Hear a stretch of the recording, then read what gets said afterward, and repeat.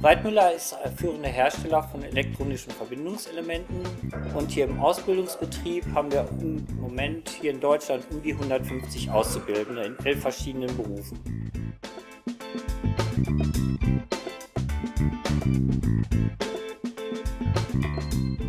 Ich denke, dass es ein Bonus ist, ein duales Studium zu machen, da man schon während des Studiums ganz viel Praxiserfahrung sammeln kann. Und wenn man dann später in den Beruf einsteigen möchte, dann kennt man schon ein Unternehmen, man kennt schon die ganzen Prozesse und Abläufe und die Produkte und Projekte. Und ich glaube, dass es einem so einfacher fällt, das studentische Wissen gleich in die Arbeitswelt hineinzunehmen und direkt loszustarten. Das Besondere am dualen Studium ist natürlich A, man bekommt Geld, das ist dann sehr schön.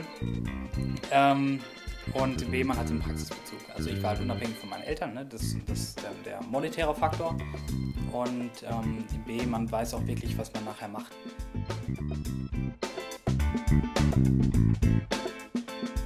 Wir bieten vier verschiedene Modelle an im dualen Studium.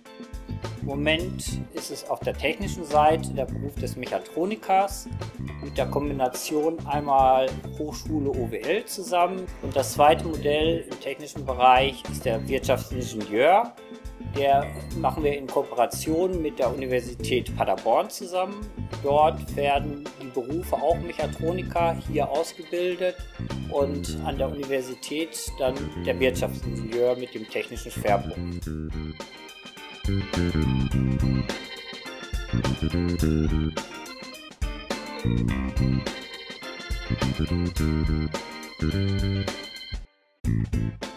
denke, dass duale Studenten auf dem Arbeitsmarkt sehr gefragt sind, denn ähm, sie haben bereits das Wissen, ähm, ja, das praktische Wissen durch die Ausbildung erlangt, haben aber auch gleichzeitig ein tiefes theoretisches Wissen und wissen dieses auch perfekt zu kombinieren.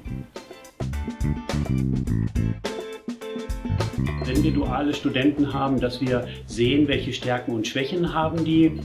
Ist jetzt einer mehr für den Bereich Entwicklung geeignet oder mehr fürs Produktmanagement oder für die Fertigungsplanung?